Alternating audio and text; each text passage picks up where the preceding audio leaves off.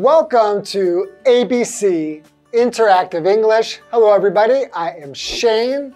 And I am Matt. Today we are looking at part one of a story called The Town Mouse and the Country Mouse. Okay, do you like mice? So, mice is the plural of mouse, Mm-hmm. right? So we never say mouses, it's always mice. You have two mice, three mice. That's right. Mm-hmm. So, do you like mice?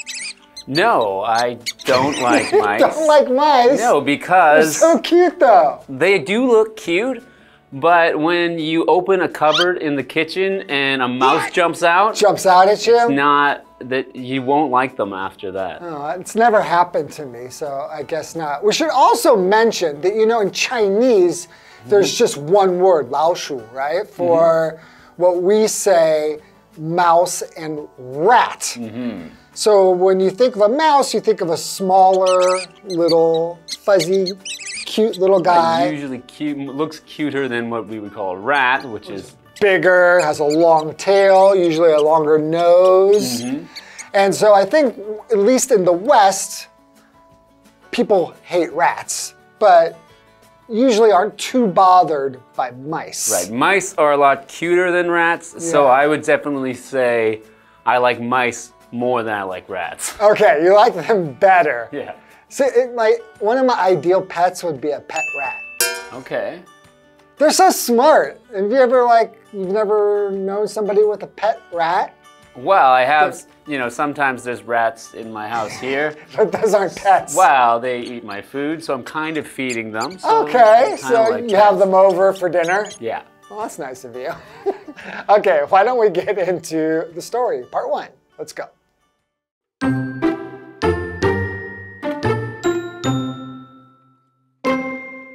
Once upon a time, a town mouse went to visit his cousin in the country. The country mouse was happy to see his cousin. He welcomed him into his home.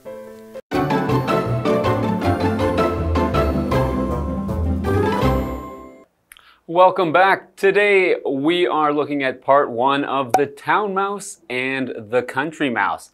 So, as we can see from this title, we have two kinds of mice here. Uh-huh. We have a town mouse and a country mouse. So, what's the difference between a mouse that's from the town and a mouse that's from the country? Well, a town is a place where people live, and usually you have many people living there together and doing things together. Right. It's smaller than a city, but it's certainly bigger than like a village or something you might find in the country. Right. So the country is an area where usually there are a lot of farms and people grow food and have animals. So there's lots of space. You might not live close to your neighbor. It might be very far to the next house. And there might not be much to do out Yeah, in the country, like movie theaters and shopping centers, Right. things like that, right? Okay, well, let's begin our story. Once upon a time. So, whenever you hear once upon a time, you know we're about to hear a story. Right. Okay, so once upon a time, a town mouse went to visit his cousin in the country. Okay, so he went to visit his cousin. So a cousin is just a child of your aunt or uncle. In English, mm-hmm. when you're talking about relatives, it's very simple, right? Compared to Chinese.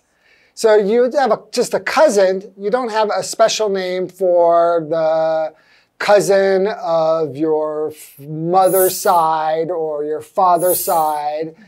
And the same thing with aunt or uncle. Mm-hmm. You know, it's just aunt, uncle. And you don't have any special names for the ones that are on your mother's side or your father's side, things like that. So in English, it's quite simple. Your mother and father's brothers and sisters are your aunts and uncles, and their children are your cousins. Okay, so for example, you could say, My cousin is very funny. All right, continuing with our story. The country mouse was happy to see his cousin. He welcomed him into his home. Okay, so he's happy that his cousin has come to visit him, so he welcomes his cousin. Uh huh. Okay. So to welcome is to greet someone in a very nice way. Usually when someone is coming to visit somewhere or going somewhere for the first time, they are welcomed. So it's when you say, you know, please come into my home. I'm happy for you to be here. That's how you welcome someone. Sure. Have a cup of coffee or maybe some tea or some iced tea. Have a seat. Mm-hmm. That's how you welcome somebody to mm-hmm. your home. Right, and you might also see signs that say like welcome to somewhere when you arrive at an airport. Right. Or even when you're driving from one place to another, there might be a sign letting you know that you're in a new place by saying welcome to Taipei. Yeah, they're letting you know that they're happy that you are here. So you are welcome to be here, mm-hmm. right? Okay, why don't we take a short break and we'll be right back.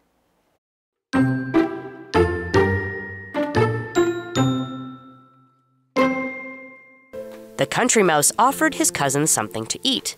He only had beans with bacon, cheese, and bread. When the town mouse saw the food, he turned up his nose. The town mouse said, How can you put up with this kind of food? But then you can't expect anything better in the country.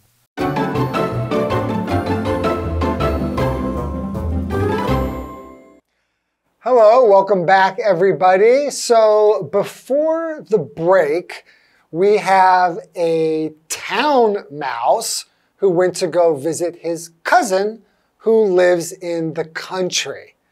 And when he went to visit him in the country, the country mouse was very welcoming. He welcomed his cousin from the town to his house, and I guess he was happy to see him.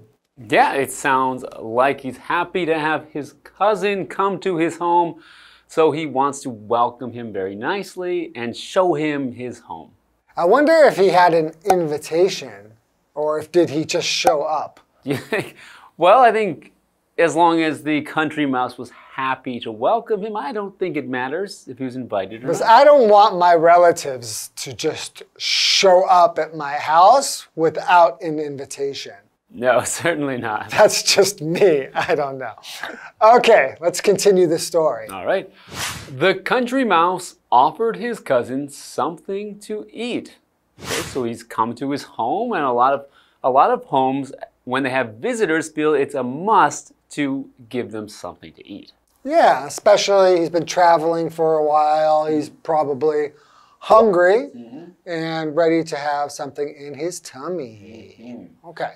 He only had beans with bacon, cheese, and bread.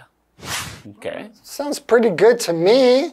I, yeah, beans, bacon, cheese, and bread. That's a pretty good breakfast right there, I'd Yeah, say. yeah, I, I definitely would be happy if I were offered that food. Mm-hmm. So, uh, what does the word offer mean? So, to offer means to provide something for someone that they can either accept, say yes to, mm-hmm. or reject, say no, I don't want this. So, in this case, the country mouse is asking the city mouse, here is some food for you. Do you want to eat this? He's offering this, so he's going to give it to him. So, he could say, No, thank you. I'm mm. full. No, thank you. This looks weird. Or mm-hmm. he could be like, All right, I'm starving. Let's, mm-hmm. let's, let's eat. Yeah. Okay, we have another vocabulary word, bean. And bean is a seed or a pod that contains seeds. And it comes from a climbing plant. And we eat this like a vegetable, mm-hmm. right? Um, so, for example, you could say, I like to eat baked beans and toast for breakfast. Now, in the West, mm-hmm. when we eat beans, Usually, we like to have them salty or mm. savory. We don't eat sweet beans, No. no, like they do here in Taiwan.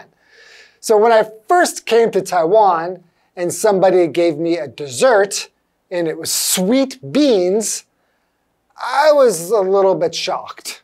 Yeah. I was I wasn't very happy about that. Mm-hmm. That that's not a dessert that I want. No, I when I first came, I often made the mistake of buying red bean paste desserts because I thought it was chocolate when I first looked at it. Oh. But then I found out it was beans and I don't know, I just don't want beans for dessert. Yeah, well, you know, I'm kind of used to it now that I've lived in Taiwan for a long time now. But when I first got here, I just thought beans should be salty. Mm-hmm. That's it. Okay, so let's continue the story. When the town mouse saw the food, he turned up his nose. Mm.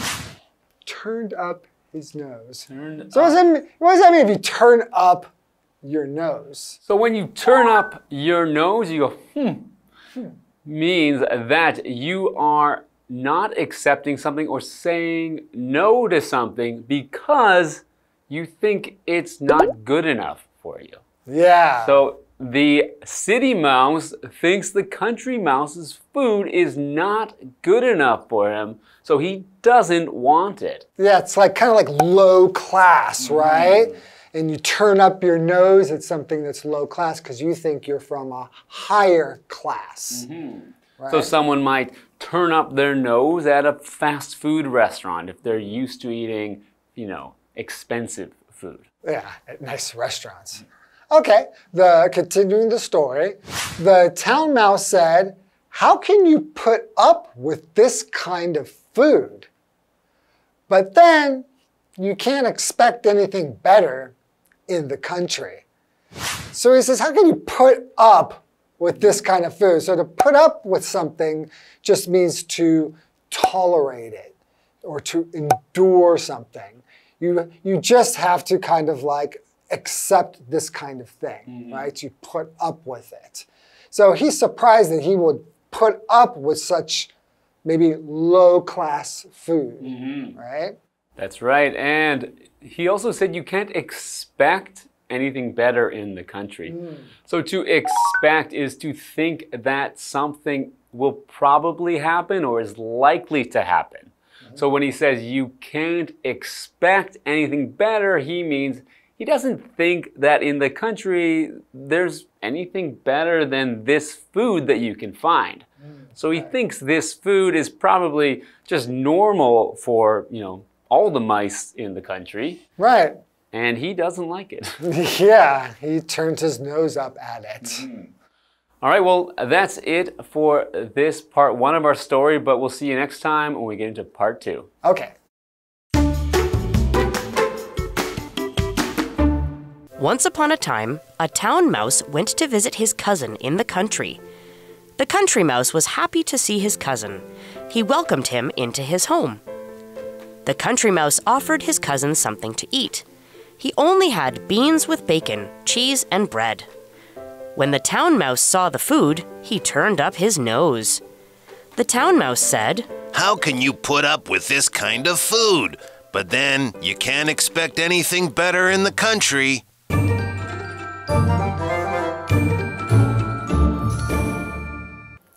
Hi, I'm Tina。我们来看这个的重点单字。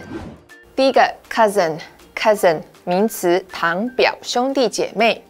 My cousin Lisa and I used to play together every summer。以前我和表妹 Lisa 每个夏天都会一起玩耍。下一个单字 welcome，welcome 动词，欢迎。We welcome new members to join our team。我们欢迎新成员加入我们的团队。下一个单 offer，offer 动词，给予、提供。The school offered me a scholarship。这间学校提供我奖学金。Scholarship 指的就是奖学金。最后一个单字 bean，bean 名词，豆子。Mom added beans to the salad。妈妈在沙拉中加入了豆子。接着我们来看重点文法。第一个 ，once upon a time，从前从前怎么样？常见于童话故事的开头。我们来看看这个例句。Once upon a time, there was a little village in the mountains. 从前从前有一个山里的小村庄。下一个文法，somebody turns up one's nose，某人不屑一顾，也可以说 turn one's nose up， 后面可以用 at 来接受词，表示对什么嗤之以鼻。我们来看看这个例句：Judy turned her nose up at the cheap dress。Judy 对这件便宜的洋装不屑一顾。最后一个文法，put up with 加上名词，忍受、忍耐。put 的三态同形，我们来看看这个例句：We can't put up with the noise from the street。我们受不了来自街道上的噪音。以上就是这一课的重点单词跟文法，我们下一课再见，拜拜。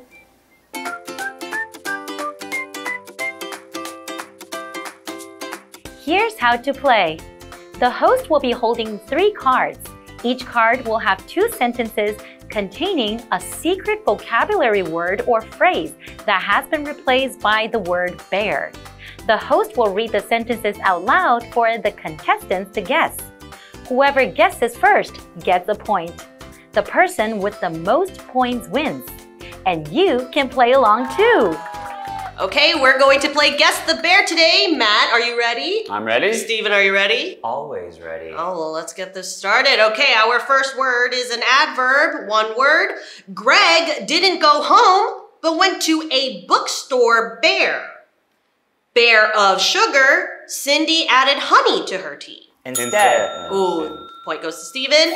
Greg didn't go home, but went to a bookstore instead. Instead of sugar, Cindy added honey to her tea. Matt, don't worry, you can you can get a point, okay? This next one is a noun and it is one word. Okay. A bear from the window caught Helen's attention. The scared kitten didn't dare make any sudden bears. Movement. Ooh, producer. Who do we give it to? We'll give it to we'll give it to Matt. Okay. A movement from the window caught Helen's attention. The scared kitten didn't dare make any sudden movements. Okay, so we're 1 1. Okay. But this one is going to be two words, so whoever gets this one will win. It is a phrase. This isn't my pot bear bear, but it'll do. Taipei 101 is many tourist att- tourists attraction bear bear. Can you do that again? This isn't my pot bear bear, but it'll do. Taipei 101 is many tourists attraction bear bear. By default? Ooh, no. Can you say the first sentence one more time, but like bot top? Uh, say the first sentence again, but say it as if you would use that word. This isn't my pot bear bear, but it'll do. Per se. Nope. Uh, Taipei 101 is many tourists attraction bear bear. By uh, ah, kind like of- auto- like automatically, it's like Yes. by by. uh, Top spot. I don't know. This is Uh, not. This is not. This is not. my go spot. to. I'm calling it What is it? Of choice. Oh. This isn't my pot of choice, but it'll do. Taipei 101 is many tourists attractions of choice. Tourist attraction of choice. I think a lot of that was because Winnie knocked it out of the game. Excuse me, I'm doing a very great job hosting, okay? Okay.